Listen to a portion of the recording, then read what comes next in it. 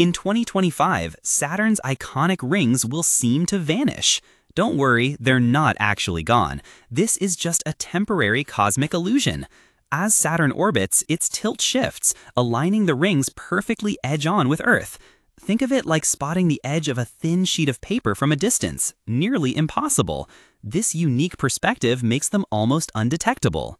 But here's the cool part. This disappearance offers an incredible opportunity to get a better look at Saturn's many fascinating moons. NASA predicts that by 2032, the rings will tilt back, giving us a breathtaking view of their underside. This cycle, driven by Saturn's moons, means more favorable ring plane crossings expected in 2038 and 2039, making them appear even more ringless.